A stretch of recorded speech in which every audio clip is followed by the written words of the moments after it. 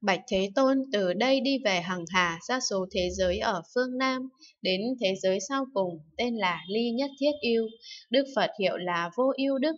Đức Phật ấy hỏi thăm Thế Tôn có được ít bệnh ít khổ não, đi đứng thơ thới khí lực điều hòa an vui không, việc đời có thể nhẫn được không, chúng sanh có dễ độ không? Ngài bảo chúng con đem ngàn cành hoa sen màu hoàng kim này dâng Thế Tôn để làm Phật sự. Khi ấy Phật Thích Ca Mâu Ni nhận hoa sen ấy giải lại thế giới chư Phật ở phương Nam. Nhờ thần lực của Phật, hoa sen ấy bay đến khắp các cõi Phật. Trong các đài hoa ấy đều có vị hóa Phật ngồi kiết già, thuyết đại bát nhã ba la mật đa cho các Bồ Tát. Chúng hữu tình nào nghe được chắc chắn sẽ chứng đắc vô thượng tránh đẳng giác. Thấy sự việc như vậy, Bồ Tát Ly Yêu và các quyến thuộc đều vui mừng, hớn hở, khen ngợi cho là việc chưa từng có đều tùy theo căn lành cúng dường nhiều hay ít. Các vị cúng dường cung kính tôn trọng ngợi khen Phật và Bồ Tát, rồi lui ra ngồi một bên, các cõi phương Nam khác cũng như vậy. Bấy giờ ở thế giới sau cùng của hàng hà sa số thế giới về phương Tây tên là Cận Tịch Tĩnh. Đức Phật hiệu là Bảo Diệm, đang thuyết đại bát nhã ba la mật đa cho các Bồ Tát. Trong hội đó có Bồ Tát tên là Hạnh Tuệ, thấy ánh sáng lớn, đại địa biến động và thân tướng của Phật, trong lòng phân vân nên đến trước Phật thưa, Bạch Thế Tôn do nhân duyên nào có điểm này? Khi ấy, Phật bảo diệm bảo Bồ Tát hạnh tuệ, từ đây đi về hàng hà xa số thế giới ở phương Đông, đến thế giới sau cùng tên là Kham Nhẫn, Phật hiệu là Thích Ca Mâu Ni, sắp thuyết đại bát nhã ba la mật đa cho các Bồ Tát, do thần lực của Phật nên có điểm này. Nghe rồi Bồ Tát hạnh tuệ vui mừng hớn hở thưa, Bạch Thế Tôn con xin qua thế giới kham nhẫn đảnh lễ cúng dường Phật Thích Ca Mâu Ni và chúng Bồ Tát, xin Ngài hứa khả cho. Lúc đó Phật bảo diện bảo Bồ Tát hạnh tuệ, lành thay, lành thay, tùy theo ý ông. Nói xong Phật bảo diệm đem ngàn cành hoa sen màu vàng kim có ngàn cánh được trang trí bằng các châu báu, trao cho Bồ Tát hạnh tuệ và dặn. Ông hãy đem hoa này đến chỗ Phật Thích Ca và đem lời ta thưa. Phật bảo diệm có lời hỏi thăm Ngài có được ít bệnh, ít khổ não, đi đứng thơ thới, khí lực điều hòa an vui không? Việc đời có thể nhẫn được không? Chúng sanh có dễ độ không? Ông hãy đem hoa sen này dâng thế tôn ấy để làm Phật sự. Đến thế giới đó, ông nên an trụ vào tránh chi, chớ có tâm kinh mạn xem thường đại chúng và cõi Phật ấy, mà tự mình bị tổn đức. Vì sao? Vì các Bồ Tát ấy có oai đức và trí nguyện đại bi khó ai sánh kịp, vì nguyện lực nên sanh vào cõi ấy, Vâng lời Phật bảo diệm, Bồ Tát hạnh tuệ nhận hoa cùng với vô lượng trăm ngàn muôn ước Bồ Tát và vô số trăm ngàn đồng nam đồng nữ đảnh lễ Phật đi nhiễu quanh bên phải Phật rồi đuôi. Khi đi đại chúng đều đem theo vô số phẩm vật cúng dường tốt đẹp, trải qua các thế giới chư Phật ở phương Tây, ở cõi Phật nào các vị cũng đều cúng dường, cung kính tôn trọng khen ngợi, không bỏ qua một cõi nào. Khi đến cõi Phật này, các vị đảnh lễ Thế Tôn, đi nhiễu trăm ngàn vòng rồi lui qua một bên. Bồ Tát hạnh tuệ ở trước Phật thưa, Bạch Thế Tôn từ đây đi về hằng hà xa số thế giới ở phương Tây, đến thế giới sau cùng tên là Cận Tịch Tĩnh, Phật hiệu là Bảo Diệm, Đức Phật ấy hỏi thăm Thế Tôn, có được ít bệnh, ít khổ não, đi đứng thơ thới, khí lực điều hòa an vui không? Việc đời có thể nhẫn được không? Chúng sanh có dễ độ không? Ngài bảo chúng con, đem ngàn cành hoa sen màu hoàng kim này dâng Thế Tôn để làm Phật sự. Khi ấy Phật Thích Ca Mâu Ni nhận hoa sen ấy giải lại thế giới chư Phật ở phương Tây. Nhờ thần lực của Phật, hoa sen ấy bay đến khắp các cõi Phật. Trong các đài hoa ấy đều có vị hóa Phật ngồi kiết già, thuyết đại bát nhã ba la mật đa cho các Bồ Tát. Chúng hữu tình nào nghe được chắc chắn sẽ chứng đắc vô thượng chánh đẳng giác. Thấy sự việc như vậy, Bồ Tát hạnh tuệ và các quyến thuộc đều vui mừng hớn hở khen ngợi cho là việc chưa từng có, đều tùy theo căn lành cúng dường nhiều hay ít. Các vị cúng dường cung kính tôn trọng, ngợi khen Phật và Bồ Tát rồi lui ra ngồi một bên. Các cõi phương Tây khác cũng như vậy. Bấy giờ ở thế giới sau cùng của hàng hà sa số thế giới về phương Bắc tên là Tối Thắng, Đức Phật hiệu là Thắng Đế, đang thuyết Đại Bát Nhã Ba La Mật Đa cho các Bồ Tát. Trong hội đó có Bồ Tát tên là Thắng Thọ, thấy ánh sáng lớn, đại địa biến động và thân tướng của Phật, trong lòng phân vân nên đến trước Phật thưa, Bạch Thế Tôn do nhân duyên nào có điểm này?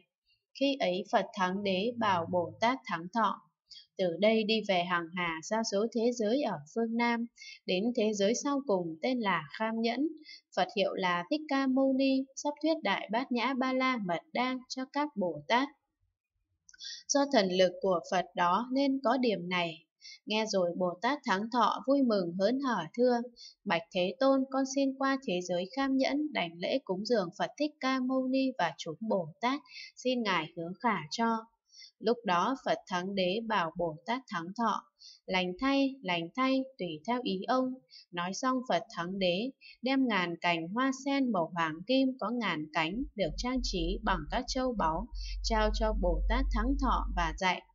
Ông hãy đem hoa này đến chỗ Phật Thích Ca và đem lời ta thưa, Phật Thắng Đế có lời hỏi thăm Ngài có được ít bệnh, ít khổ não, đi đứng thơ thối khí lực điều hòa an vui không? Việc đời có thể nhẫn được không? Chúng sanh có dễ độ không? Ông hãy đem hoa sen này dâng thế tôn ấy để làm Phật sự. Đến thế giới đó, ông nên an trụ vào tránh chi, chớ có tâm khinh mạn xem thường đại chúng và gọi Phật ấy mà tự mình bị tổn đức. Vì sao?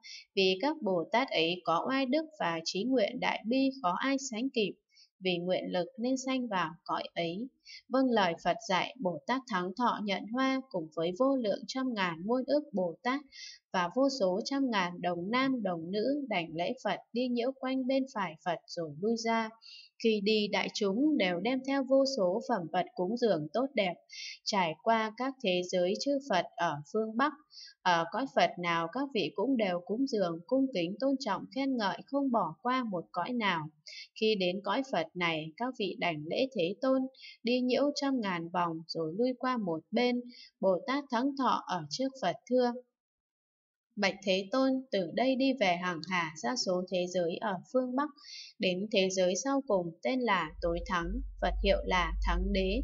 Đức Phật ấy hỏi thăm Thế Tôn có được ít bệnh, ít khổ não, đi đứng thơ thới khí lực điều hòa an vui không? Việc đời có thể nhẫn được không? Chúng sanh có dễ độ không? Ngài bảo chúng con đem ngàn cảnh hoa sen màu hoàng kim này dâng Thế Tôn để làm Phật sự. Khi ấy Phật Thích Ca Mâu Ni nhận hoa sen ấy giải lại thế giới chư Phật ở phương Bắc. Nhờ thần lực của Phật, hoa sen ấy bay đến khắp các cõi Phật. Trong các đài hoa ấy đều có vị hóa Phật ngồi kiết già, thuyết đại bát nhã ba la mật đa cho các Bồ Tát. Chúng sanh nào nghe được chắc chắn sẽ chứng đắc vô thượng chánh đẳng giác. Thấy sự việc như vậy, Bồ Tát Thắng Thọ và các quyến thuộc đều vui mừng hớn hở khen ngợi cho là việc chưa từng có, đều tùy theo căn lành cúng dường nhiều hay ít. Các vị cúng dường cung kính tôn trọng ngợi khen Phật và Bồ Tát rồi lui ra ngồi một bên. Các cõi phương Bắc khác cũng như vậy. Bấy giờ ở thế giới sau cùng của hàng hà sa số thế giới về phương Đông Bắc, tên là Định Trang Nghiêm, Đức Phật hiệu là Định Tượng Thắng Đức, đang thuyết đại bát nhã ba la mật đa cho các Bồ Tát. Trong hội đó có Bồ Tát tên là Ly Trần Dõng Mãnh, thấy ánh sáng lớn đại địa biến động và thân tướng của Phật trong lòng phân vân, nên đến trước Phật thưa, Bạch Thế Tôn do nhân duyên nào có điểm này. Khi ấy Phật định tượng thắng đức bảo Bồ Tát ly trần dõng mãnh, từ đây đi về hằng hà xa số thế giới ở phương Tây Nam, đến thế giới sau cùng tên là Kham Nhẫn, Phật hiệu là Thích Ca Mâu Ni, sắp thuyết Đại Bát Nhã Ba La Mật Đa cho các Bồ Tát, do thần lực của Phật đó nên có điểm này. Nghe rồi Bồ Tát ly trần dõng mãnh vui mừng hớn hở thưa, Bạch Thế Tôn con muốn qua thế giới cam nhẫn, đảnh lễ cúng dường Phật Thích Ca Mâu Ni và chúng Bồ Tát, xin Ngài hứa khả cho.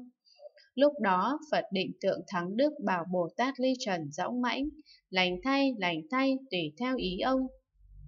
Nói xong, Thế Tôn đem ngàn cành hoa sen màu vàng kim, có ngàn cánh được trang trí bằng các châu báu, trao cho Bồ Tát ly trần dõng mãnh và dạy. ông hãy đem hoa này đến chỗ Phật Thích Ca và đem lời ta thưa. Phật định tượng thắng đức, có lời hỏi thăm Ngài có được ít bệnh, ít khổ não, đi đứng thơ thới khí lực điều hòa an vui không? Việc đời có nhẫn được không? Chúng sanh có dễ độ không? Ông đem hoa sen này dâng Đức Phật ấy để làm Phật sự. Đến thế giới đó ông nên an trụ vào tránh chi, chớ có tâm khinh mạn xem thường đại chúng và cõi Phật kia mà tự mình bị tổn đức. Vì sao? Vì các Bồ Tát ấy có oai đức và trí nguyện đại bi khó ai sánh kịp, vì nguyện lực nên sanh vào cõi ấy. Vâng lời Phật dạy, Bồ Tát ly trần dõng mãnh nhận hoa, cùng với vô lượng trăm ngàn muôn ước Bồ Tát và vô số trăm ngàn đồng nam đồng nữ, đảnh lễ Phật đi nhiễu quanh bên phải Phật rồi lui ra. Khi đi đại chúng đều đem theo vô số phẩm vật cúng dường tốt đẹp, trải qua các thế giới chư Phật ở phương Đông Bắc, ở cõi Phật nào các vị cũng đều cúng dường, cung kính, tôn trọng, khen ngợi, không bỏ qua một cõi nào. Khi đến cõi Phật này, đại chúng đảnh lễ Phật, nhiễu trăm ngàn vòng rồi lui qua một bên. Bồ Tát đi trần dõng mãnh ở trước Phật thưa, Bạch Thế Tôn từ đây đi về hàng hà ra số thế giới ở phương Đông Bắc, đến thế giới sau cùng tên là Định Trang Nghiêm, Phật hiệu là Định Tượng Thắng Đức. Đức Phật ấy hỏi thăm Thế Tôn có được ít bệnh, ít khổ não, đi đứng thơ thới khí lực điều hòa an vui không? Việc đời có thể nhẫn được không? Chúng sanh có dễ độ không? Ngài bảo chúng con đem ngàn cành hoa sen màu hoàng kim này dâng Thế Tôn để làm Phật sự. Khi ấy Phật Thích Ca Mâu Ni nhận hoa sen ấy, giải lại thế giới chư Phật ở phương Đông Bắc. Nhờ thần lực của Phật, hoa sen ấy bay đến khắp các cõi Phật. Trong mỗi đài hoa ấy đều có vị hóa Phật, ngồi kiết già, tuyết đại bát nhã ba la mật đa cho các Bồ Tát. Chúng sanh nào nghe được chắc chắn sẽ chứng đắc vô thượng chánh đẳng giác. Thấy sự việc như vậy, Bồ Tát Ly Trần dõng mãnh và các quyến thuộc đều vui mừng hớn hở khen ngợi cho là việc chưa từng có. Đều tùy theo căn lành cúng dường nhiều hay ít, các vị cúng dường cung kính tôn trọng, ngợi khen Phật và Bồ Tát rồi lui ra ngồi một bên. Các cõi phương Đông Bắc khác cũng như vậy. Lúc bấy giờ ở thế giới sau cùng của hàng hạ sa số thế giới về phương Đông Nam tên là Diệu Giác Trang Nghiêm Thậm Khả Ái Lạc. Đức Phật hiệu là Liên Hoa Thắng Đức, đang thuyết đại bát nhã ba la mật đa cho các Bồ Tát. Trong hội đó có Bồ Tát tên là Liên Hoa Thủ, thấy ánh sáng lớn, đại địa biến động và thân tướng của Phật trong lòng phân vân, nên đến trước Phật thưa. Bạch Thế Tôn do nhân duyên nào có điểm này, khi ấy Phật Liên Hoa Thắng Đức bảo Bồ Tát Liên Hoa Thủ. Từ đây đi về hằng hà xa số thế giới ở phương Tây Bắc đến thế giới sau cùng tên là Kham Nhẫn, có Phật hiệu là Thích Ca Mâu Ni sắp thuyết Đại Bát Nhã Ba La Mật Đa cho các Bồ Tát, do thần lực của Phật ấy nên có điểm này. Nghe rồi Bồ Tát Liên Hoa Thủ vui mừng hớn hở thưa, Bạch Thế Tôn con muốn qua thế giới kham nhẫn, đảnh lễ cúng dường Phật Thích Ca Mâu Ni và chúng Bồ Tát, xin Ngài hứa khả cho. Lúc đó Phật Liên Hoa Thắng Đức bảo Bồ Tát Liên Hoa Thủ, lành thay, lành thay, tùy theo ý ông. Nói xong Thế Tôn đem ngàn cành hoa sen màu hoàng kim có ngàn cánh, được trang trí bằng các châu báu trao cho Bồ Tát Liên Hoa Thủ và dạy. Ông hãy đem hoa này đến chỗ Phật Thích Ca và đem lời ta thưa. Phật Liên Hoa Thắng Đức có lời hỏi thăm Ngài có được ít bệnh, ít khổ não, đi đứng thơ thới khí lực điều hòa an vui không? Việc đời có nhẫn được không? Chúng sanh có dễ độ không? Ông đem hoa sen này dâng thế tôn ấy để làm Phật sự. Đến thế giới đó, ông nên an trụ vào tránh chi, chớ có tâm khinh mạn xem thường đại chúng và cõi Phật kia mà tự mình bị tổn đức. Vì sao? Vì các Bồ Tát ấy có oai đức và trí nguyện đại bi khó ai sánh kịp, do nguyện lực mà sanh vào cõi ấy. Vâng lời Phật dạy, Bồ Tát Liên Hoa Thủ, nhận hoa cùng với vô lượng trăm ngàn muôn ước Bồ Tát và vô số trăm ngàn đồng nam đồng nữ đảnh lễ Phật đi nhiễu quanh bên phải Phật và lui ra. Khi đi, đại chúng đều đem theo vô số phẩm vật cúng dường tốt đẹp, trải qua các thế giới chư Phật ở phương Đông Nam. Ở cõi Phật nào, các vị cũng đều cúng dường, cung kính, tôn trọng, khen ngợi, không bỏ qua một cõi nào. Khi đến cõi Phật này, đại chúng đảnh lễ Phật nhiễu trăm ngàn vòng rồi lui qua một bên. Bồ Tát Liên Hoa Thủ ở trước Phật thưa, Bạch Thế Tôn từ đây đi về hằng hà xa số thế giới ở phương Đông Nam, đến thế giới sau cùng tên là Diệu Giác Trang Nghiêm Thậm Khả Ái Lạc, Phật hiệu là Liên Hoa Thắng Đức. Đức Phật ấy hỏi thăm Thế Tôn có được ít bệnh, ít khổ não, đi đứng thơ thới, khí lực điều hòa an vui không? Việc đời có nhẫn được không? Chúng sanh có dễ độ không? Ngài bảo chúng con đem ngàn cành hoa sen màu hoàng kim này dâng Thế Tôn để làm Phật sự. Khi ấy Phật Thích Ca Mâu Ni nhận hoa sen ấy giải lại thế giới chư Phật ở phương Đông Nam. Nhờ thần lực của Phật, hoa sen ấy bay đến khắp các cõi Phật. Trong mỗi đài hoa ấy đều có vị hóa Phật ngồi kiết già, thuyết đại bát nhã ba la mật đa cho các Bồ Tát. Chúng sanh nào nghe được chắc chắn sẽ chứng đắc vô thượng chánh đẳng giác.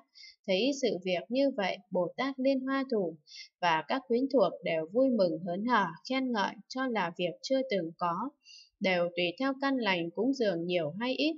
Các vị cúng dường cung kính, tôn trọng, ngợi khen Phật và Bồ Tát rồi lui ra ngồi một bên. Các cõi phương Đông Nam khác cũng như vậy.